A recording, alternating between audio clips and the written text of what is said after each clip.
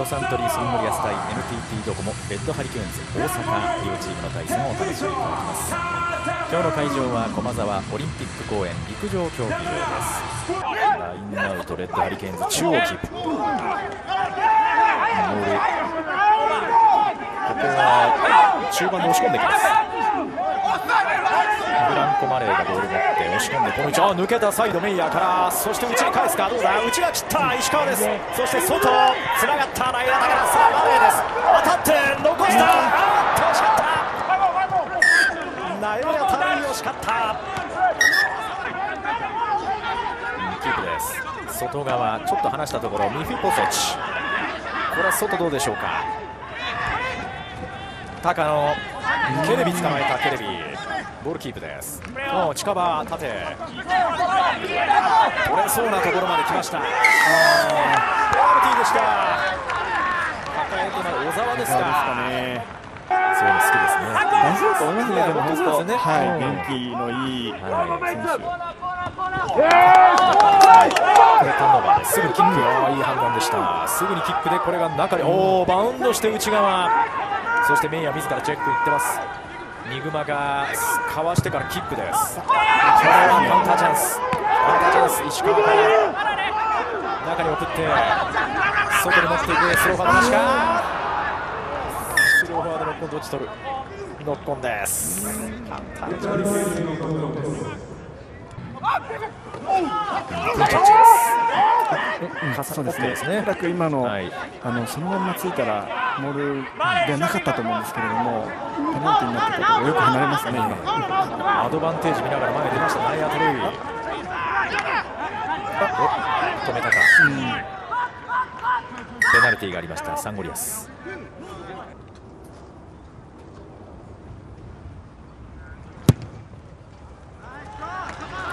決めました。先にレッドハリケーンズです。あプレーオンですね。これはターンオーバーです。ターンオーバーそしてキック高野裏のスペース。ニグマが戻りました。ノックバック。マッケンジー。おーランできてランできて。ノールックのパスニグマ。キック。すぐに相手に入った。おー狙った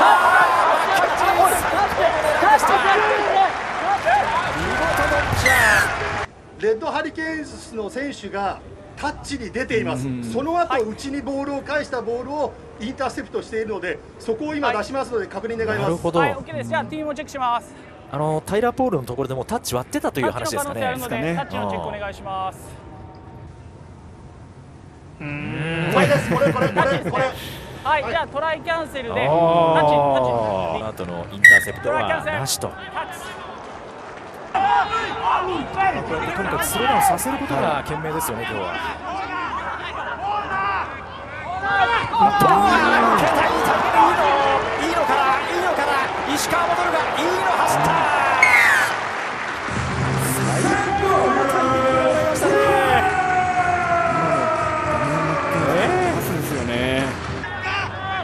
さあ相手のディフェンスが崩れかけていますがどう攻めてくるか。なんとか一応取ったディフェンス。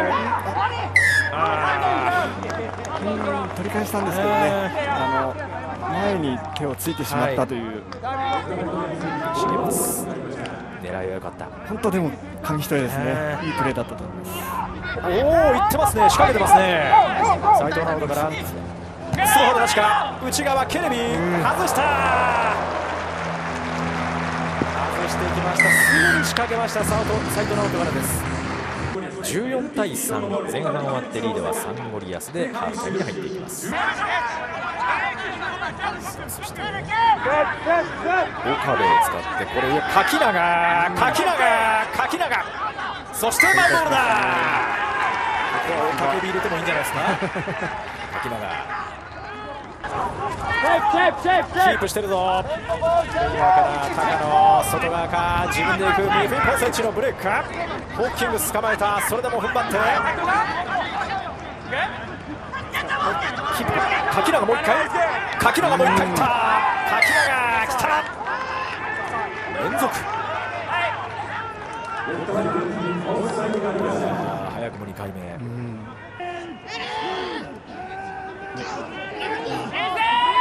ューユーズイットの声。斉藤直人マッケンジーキック。山本が落下点。あのウィルああ転がって転がって。この位置まで来ました。あしかししかししかしああ流れすぎましたか。蹴った地点に戻される。おいおいそれはそうですね。激しいですよねそもそもあのショーン・マクマンがいますマッケンジーからケレビすぐに斉藤から。ブレイク。抜けたタタフ来た。このスペース入ってきました。ペリカ・タタフ。自分たちの肩に入るのも確実に取れるプレー。OK ですか？OK ですか？ケレビスローフォワードもなくこれ認めるかどうか。あ止めた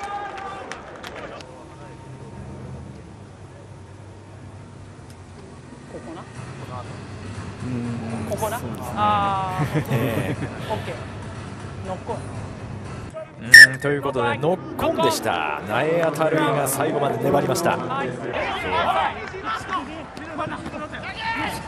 ショートパス流れているタタフ。これも立ってつないだ。前に出るぞ。田村光田村光から外側ケそしてやっぱり取ってきました。サンゴリアスあーここアドバンテージですオフサイドかラインオフサイド。捕まえた。ここはタックルして。ただボールは出る。ケレビから。尾崎大河がいる。ハンドオフから外してケレビこれも2つ外した。さらに得点です。これもさすがですね。ハンドオフ2発。圧巻です。これからまだまだ良くなりそうなイメージがあるのであとチームに直さん片倉もいますよね。そうですね。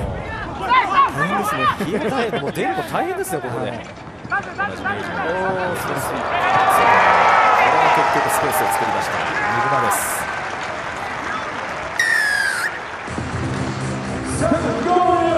特に今そうですね。アラビーズでもテレビがこういうことでありましたね。あんまり見見ないような気がしますけど。うん。貴重ですよ。はい。ね、